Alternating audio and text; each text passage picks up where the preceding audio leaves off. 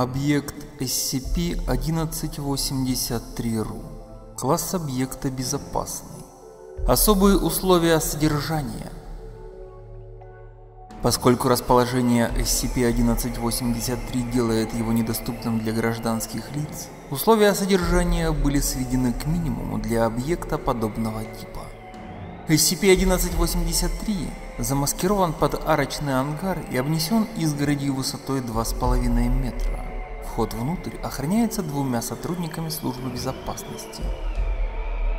Внутри строения в большинстве комнат размещены камеры видеонаблюдения, вся информация с которых поступает на наблюдательный пункт 1183.1, где несут дежурство 4 сотрудника со вторым уровнем допуска. Дежурный персонал должен заносить в протоколы любую информацию касательно аномальных явлений или сущностей, зарегистрированных с помощью камер видеонаблюдения. За подробностями обратитесь к приложению 1183А1. Ремонтом и обслуживанием камер наблюдения занимаются сотрудники класса D. Морские пути были изменены таким образом, чтобы ни одно судно, гражданское, военное или исследовательское, не оказалось рядом с островом, на котором находится SCP-1183. Над всей территорией острова также установлена беспилотная зона. Описание. SCP-1183 представляет собой двухэтажный особняк, предположительно построенный в 19 веке, расположенный на небольшом безымянном острове из групп островов Новая Земля в Карском море. Внешнее строение выглядит совершенно обычным. Анализ строительных материалов показал, что они не обладают аномальными свойствами. План строения представлен в приложении 1183P. В доме также обнаружена электропроводка и электрические осветительные приборы, но они находятся в нерабочем состоянии. Помимо того, что особняк расположен в столь необычном месте, он обладает следующими свойствами, которые представляют особый интерес. Нестандартные климатические условия внутри здания. Несмотря на суровые условия среды, в которой находится объект, внутри него всегда тепло и комфортно. Замеры показали, что температура воздуха в доме составляет 20 градусов по Цельсию, а влажность воздуха 45%. Появление нематериальных сущностей. Данный феномен был обнаружен еще во время первого исследования объекта и представляет собой призрачные, но четко различимые, видны даже мельчайшие детали одежды, фигуры людей. Эти фантомы неосязаемы, не реагируют на внешние раздражители и после появления, как правило, начинают выполнять различные действия, не издавая при этом ни звука, после чего исчезают. Действия фантомов зациклены, и они, как выяснилось, привязаны к определенному месту и проявляют себя в определенный промежуток времени. Иногда некоторые фантомы могут проявить себя в других помещениях дома и даже появляться в нескольких комнатах одновременно. Также временами внешний вид фантомов после появления может измениться. За подробностями обратитесь к приложению 1183А1. Старший научный сотрудник считает, что эти фантомы представляют собой своеобразные отпечатки прошлых событий, но данная теория пока не может быть опровергнута или подтверждена. Было замечено, что в некоторых помещениях дома люди испытывают сильные визуальные или слуховые галлюцинации. Кроме того, в доме были обнаружены различные предметы, некоторые из которых можно считать аномальными. За подробностями обратитесь к приложению 1183А2. Обнаружение. SCP-1183 был обнаружен мобильной оперативной группой во время выслеживания SCP, скрывающегося в этих местах. В данный район была выслана команда исследователей и агентов, которая произвела осмотр объекта и выявление его первичных свойств, после чего были установлены временные меры по содержанию. Сбор необходимых данных внутри особняка позволил определить, что когда-то этот дом принадлежал богатой женщине, известной как мисс Тесс, родом из штата Мэн, США. При изучении архивных документов была обнаружена старая газетная статья, в которой говорилось, что мисс пропала без вести во время пожара, возникшего неизвестным образом во время ее свадьбы 22 июня 1931 года. Во время этого инцидента бесследно исчез и жених мисс Дункан, а также вся прислуга и гости, присутствовавшие на свадьбе. В статье говорилось, что особняк сгорел буквально до основания. Как дом оказался за полярным кругом, в настоящий момент неизвестно. Приложение 1183А1. Неполный список фантомных сущностей, появляющихся на территории особняка. Предисловие. Поскольку по большей части фантомы не меняют свои дислокации, за ними установлено постоянное наблюдение с помощью видеокамер, расставленных во многих уголках дома. Исследователи, однако, обязаны заносить в соответствующий протокол все изменения, которые могут иметь место. Помимо порядкового номера и описания, в этом приложении указано примерное время появления каждого отдельного фантома по московскому времени, неофициальное обозначение данное сотрудниками фонда и дополнительные примечания. Примечание доктора мне показалось, что было бы интересно узнать, о чем говорят фантомы, пусть даже они не издают ни звука. Поэтому в целях эксперимента я обратился за помощью к специалисту по чтению по губам. Полученная информация была добавлена в протокол. Номер 11831. Неофициальное обозначение. Призрак Дворецкого. Примерное время появления 6.00. Описание. Пожилой мужчина европеоидной расы, довольно чопорного вида, лысеющий, с подстриженными седыми бакенбардами. Появляется в холле SCP-1183, судя по всему дворецкий. Сразу после появления начинает беззвучно говорить, очевидно обращаясь к неизвестному посетителю. Затем жестом просит следовать за ним, исчезает примерно через 13 секунд после появления. Расшифровка речи фантома. А, господин... Мисс... Долго ждала вашего приезда. Пожалуйста, следуйте за мной. Дополнительных примечаний нет. Номер 1183-4. Неофициального обозначения нет. Примерное время появления 11.05. Описание. Молодая женщина европеоидной расы, одетая в экстравагантное вечернее платье, и мужчина, описанный под номером 11831, появляются в одной из спален на втором этаже особняка. Мужчина о чем-то беззвучно говорит женщине в течение примерно 40 секунд, загибая пальцы, как будто перечисляет что-то, после чего женщина отворачивается и отмахивается от него. Лицо мужчины принимает удивленное выражение. После этого оба человека исчезают. Расшифровка речи фантома. Госпожа, это возмутительно. Что этот Дункан позволяет себе? Его громилы расхаживают по дому, как в своих владениях, плюют вазы, закидывают ноги на стол, словно какие-то ковбои. Стрельбу в саду учинили. Мисс, неужели... Дополнительные примечания. Женщина была опознана как пропавшая без вести хозяйка особняка. Номер 118310. Неофициальное обозначение посиделки. Примерное время появления 13 часов 15 минут. Описание. Хозяйка особняка и неопознанная богато одетая молодая женщина европеоидной расы с бокалами в руках. Мисс также держит в руке бутылку шампанского. Появляются в подвале особняка в винном погребе. В течение примерно 1 минуты и 36 секунд женщины о чем-то оживленно болтают и смеются, после чего мисс очевидно произносит тост. Обе женщины осушают бокалы и в этот момент исчезают. Расшифровка речи фантомов. Хозяйка особняка. Ах, дорогая моя, как же приятно снова тебя видеть с тех пор, как мы вместе учились в пансионе. Неопознанная женщина. Да, я все собиралась заехать как-нибудь в гости, да все времени не было. Но ты послушай, какие вести я тебе привезла. Помнишь госпожу Ченсворт? Хозяйка особняка. Это которая нам естественные науки преподавала? Такая старая вредная тетка. Неопознанная женщина. Она самая. Представляешь, какие слухи до меня дошли, что она будто бы замуж вышла. Хозяйка особняка. Она? Да ей же давно надо на погост собираться, а не под венец, смеется.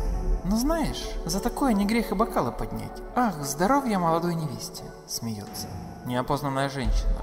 Горько, смеется. Дополнительные примечания. 22 июня 2000 года вместо женщин появилось нечто, похожее на парящую в воздухе голову старухи с красной морщинистой кожей, выпученными глазами и всклокоченными волосами.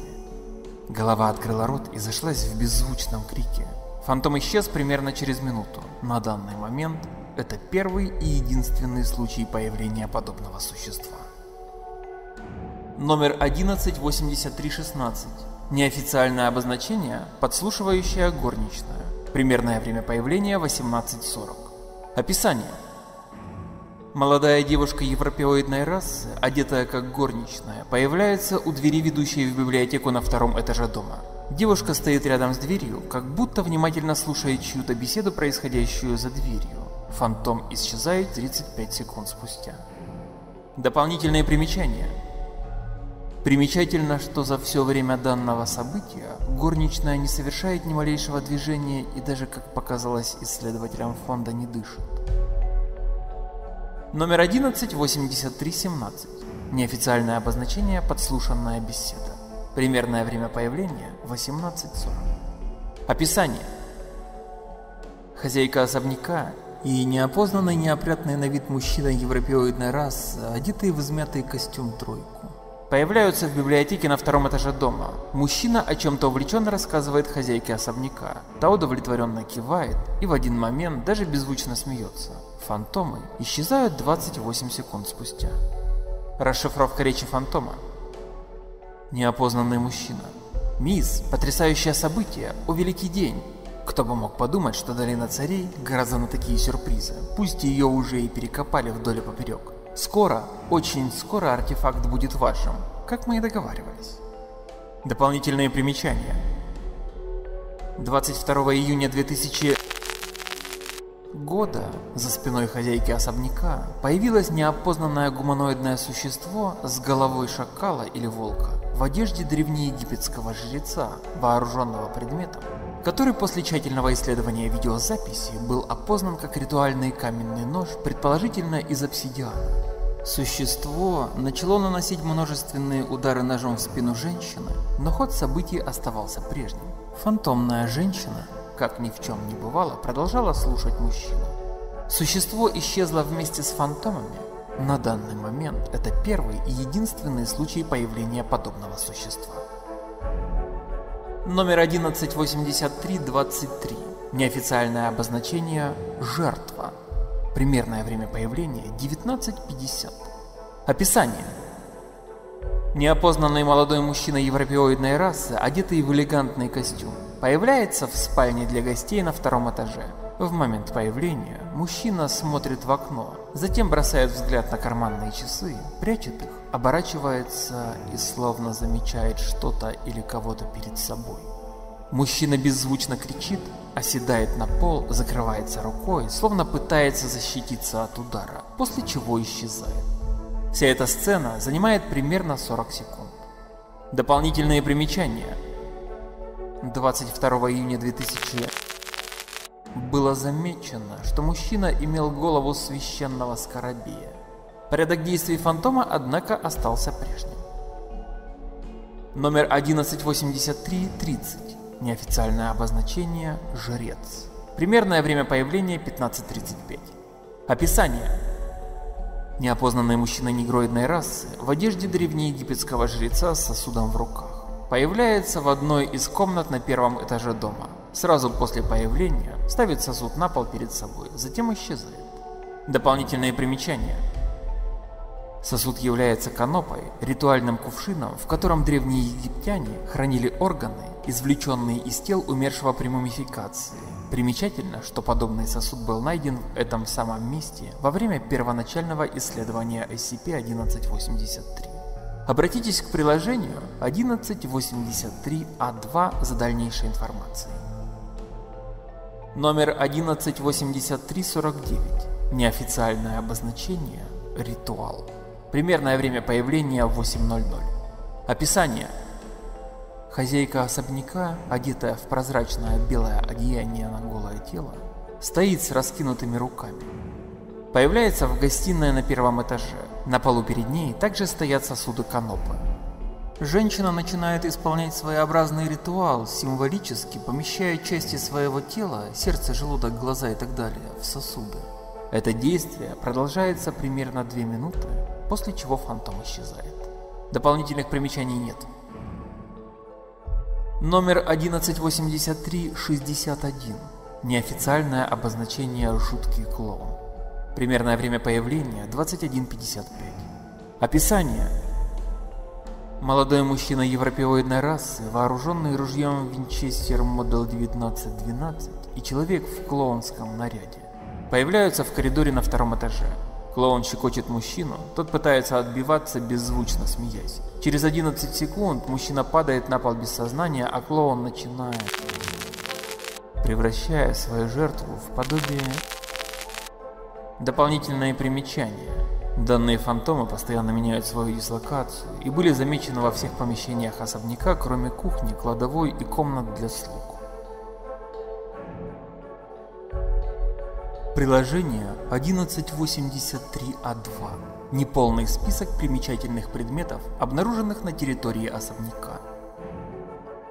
10 сосудов каноп, каждый из которых помечен египетским иероглифом, обозначающим определенный орган человеческого тела.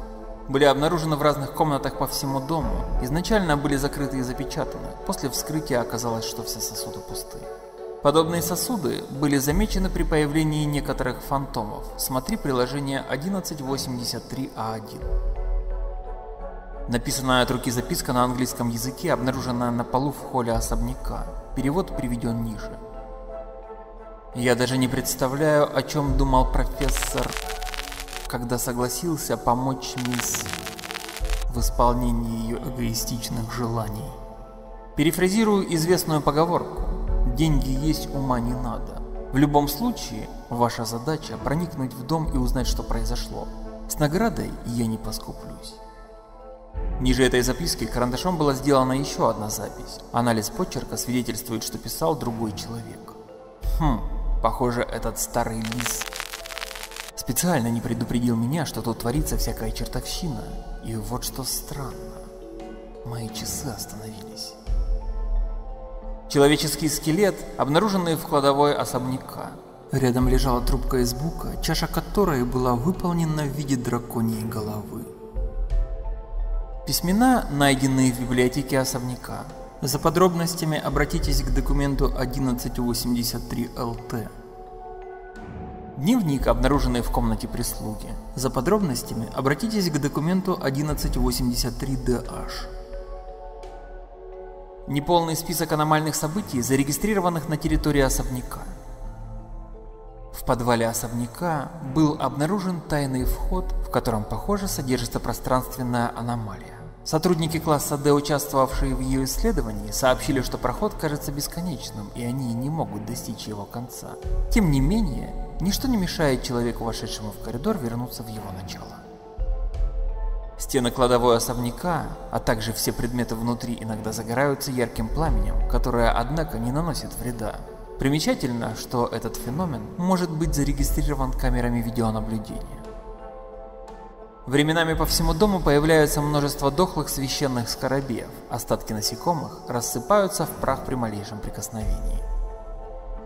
Иногда все фантомы, присутствующие на территории особняка, заменяются полупрозрачным образом хозяйки особняка, воздевающей руки к небу. Примечательно, что этот фантом единственный, способный издавать звуки. Согласно заявлениям сотрудников класса D, участвовавших в изучении этого явления, при приближении к фантому женщины, она смотрит прямо на подошедшего к ней человека, и с мольбой в голосе произносит на английском языке всего одну фразу «Помогите мне», после чего растворяется в воздухе. Закономерность появления данной аномалии не была установлена. Некоторые сотрудники класса Д заявляли, что слышали в комнатах на втором этаже тихий детский голос, предположительно принадлежавший девочке 8-10 лет, которая читала вслух какие-то стишки на английском языке. С помощью аудиозаписывающего оборудования были сделаны записи голоса. Расшифровка и литературный перевод некоторых из них переведены ниже.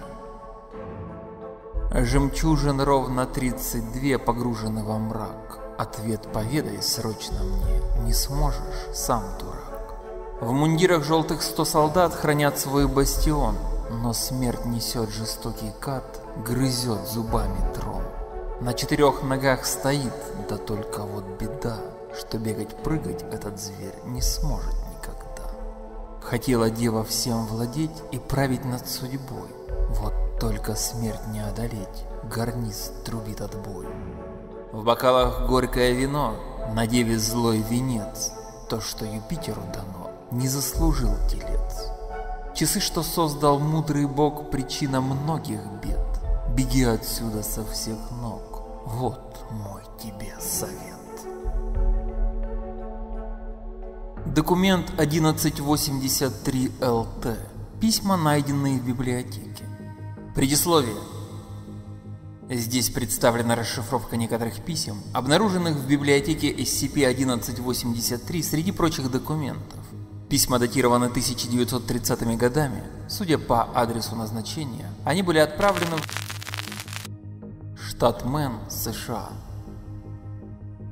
Уважаемая мисс, в первую очередь хотел бы поблагодарить вас от имени профессора и от своего имени тоже. Оказанная вами финансовая поддержка позволила профессору возобновить раскопки и продолжить поиски того, что может поставить всех египтологов, да что там, всю научную общественность планеты, хоть физиков, хоть биологов на уши. Говард Картер и лорд Карнер вон со своей гробницей Тутанхамона покажутся всем жалкими неудачниками, когда мы обнаружим вожделенное сокровище. И разумеется, как мы и договаривались, вы получите возможность воспользоваться той силой, что многие века была погребена под песками Египта. Всегда ваш Джим. Уважаемая мисс... О, долгожданный день. Я получил вести от профессора. Как и говорилось, в том папирусе в долине царей действительно обнаружилась гробница, которую ранее не смогли обнаружить ни исследователи, ни грабители. Хотя профессор, кажется, и догадывается, почему эта гробница до сих пор не была разграблена. Многочисленные ловушки, хитрые, дьявольские. Профессор писал в своем письме, что это даже не гробница, а целая сеть подземных коридоров, некоторые из которых оканчиваются тупиками или ловушками. Он потерял уже 20 рабочих во время исследования этих катакомб. Пишет, что суеверные египтяне даже под страхом смерти отказывались идти в подземелье. Лопочет постоянно о гневе Анубиса, о том, что смертным не дано владеть силой богов. Что за дикость? В любом случае, я собираюсь нанести вам визит в ближайшие дни и обсудить дальнейшие детали. Всегда ваш Джим. Уважаемая мисс... Сегодня я получил от профессора посылку фотографические карточки, на которых запечатлены иероглифы, начертанные на стенах главного зала гробницы. Там же было обнаружено и самое ценное сокровище – водяные часы мудрого Тота.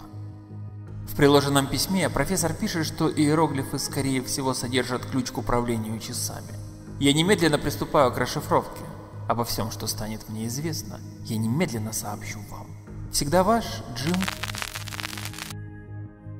Уважаемая мисс... Мне это удалось после долгих бессонных ночей. Я открыл секрет управления часами. Для того, чтобы подчинить их своей воле, необходимо провести магический ритуал ровно в день летнего солнцестояния. Я еще не до конца перевел текст, но там что-то сказано про разделение тела на части, а потом их воссоединение, как разделили на части бога Осириса, а затем собрали вновь, дабы дать ему новую жизнь. Я уверен, что все это лишь метафоры, и вам не надо будет рубить свое прекрасное тело на части. Господь с нами со всеми. Так или иначе, я дам вам знать, если узнаю что-то новое. Всегда ваш Джим. Уважаемая мисс... У меня для вас есть крайне неприятное известие. Видите ли, я наконец перевел тот кусок текста, который вначале показался мне совершеннейшей билибердой. Выяснилось, что часы обладают одним маленьким секретом. Они могут выполнить любое ваше желание, любой каприз, но есть и обратная сторона медали. Взамен они потребуют что-то еще. Причем до конца неизвестно, что именно нужно принести в жертву той силе, что заключена в часах. Это может быть и золото, и кровь девственницы, и слюна беременной барсучихи, забитая в полнолуние во время Хэллоуина, да хоть жизни всех людей на планете. Вы представляете, на какой риск мы идем? Вначале эта идея показалась мне заманчивой, но теперь я начинаю испытывать страх в своей душе. Я получил срочную телеграмму из Египта. Профессора нашли мертвым в его палатке. Во время вскрытия оказалось, что его легкие и желудок были полны жуков-скоробеев. На ум сразу приходят все эти сплетни о проклятии фараонов. Я собираюсь снова нанести вам визит, тогда мы и обсудим, что делать дальше. Всегда ваш Джим. Среди писем была обнаружена телеграмма следующего содержания. Груз уже пути ЗПТ. Дункан поможет оформлением необходимых документов ТЧК. Встретят груз границы ТЧК. Бананы шлите бочках ТЧК. Также в мусорной корзине под письменным столом был обнаружен скромный листок бумаги с текстом следующего содержания. Судя по стилю и характеру письма, человек, писавший этот текст, пребывал в состоянии крайней злобы. Оригинальный текст, орфография и пунктуация сохранены. Мелкий сопливый трус, какое мне дело до каких-то там фараонов и их проклятий? Все мои деньги полетели коту под хвост. Что насчет 20 миллионов долларов, отданных на том аукционе за папирус, в последний момент вырванные из когтей этого ястреба? Да если бы не я, вы бы с профессором жили бы до сих пор как церковные крысы. Так ты мне платишь за мою доброту? Ну давай, нанеси мне визит, я тебе в лицо выскажу все, что... Запись обрывается. Документ 1183-DH. Дневник служанки. Этот дневник был обнаружен во время одного из первых исследований SCP-1183. Анализ текста и стиль письма показали, что дневник вероятнее всего принадлежал некой молодой особе, приблизительно 16-20 лет от роду, которая была прислугой в этом доме. На первых страницах вверху надпись принадлежит Эмили Роушфорд.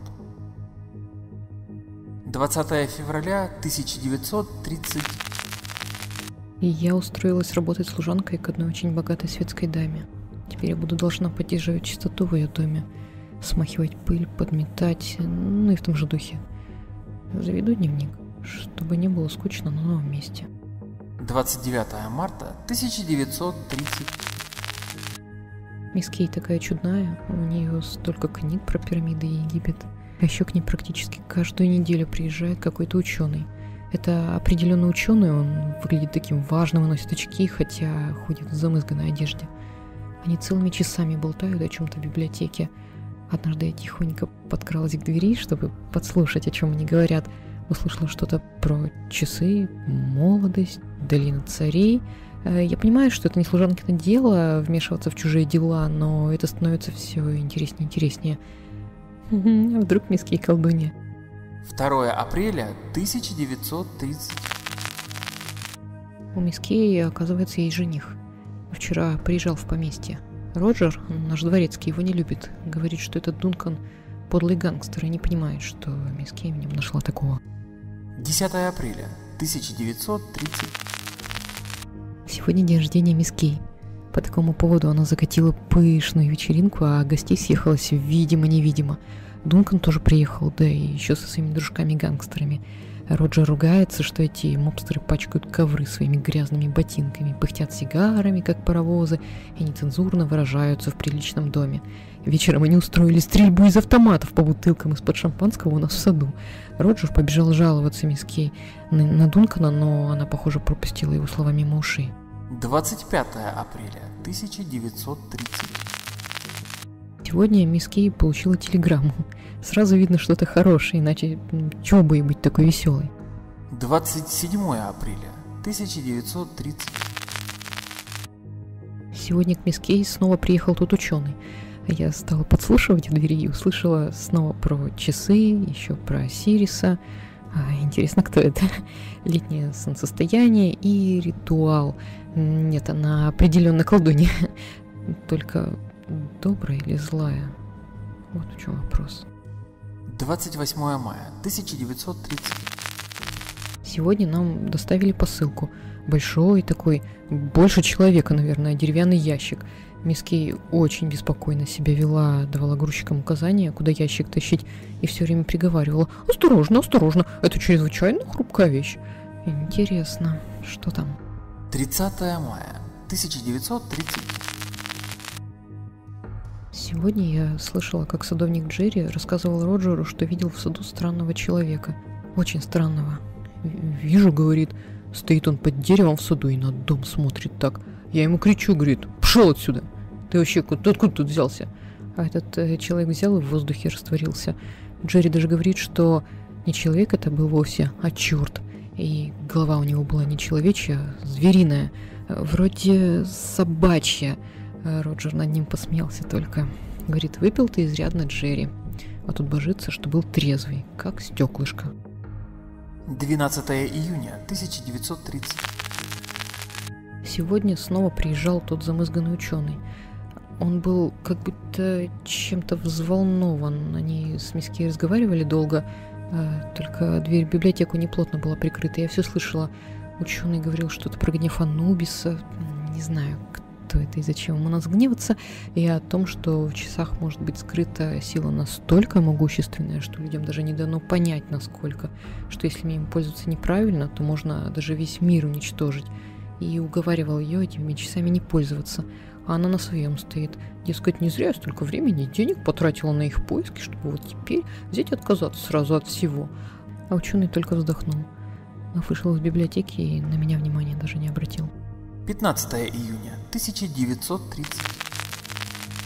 Мисс Ки объявила, что она и Дункан поженятся 22 числа, ровно в день забыла, как-то он мудрено называется, летнего солнцестояния, точно. А, да это же всего через неделю. 16 июня 1930. Говорят, мисс Кей собирается пригласить на свадебную вечеринку самый настоящий джазовый оркестр и клоунов. Весело будет, наверное. Для богачей, естественно. Нам же слугам придется до седьмого пота вкалывать. 20 июня 1930. Сегодня Мария, одна из служанок, рассказала мне, что когда помогала мисс Кей примерять свадебное платье, та сказала, что скоро будет особенный день, и что они с Дунканом объединятся в вечности. Ой, не нравится мне это. Мисс Кей точно злая колдунья.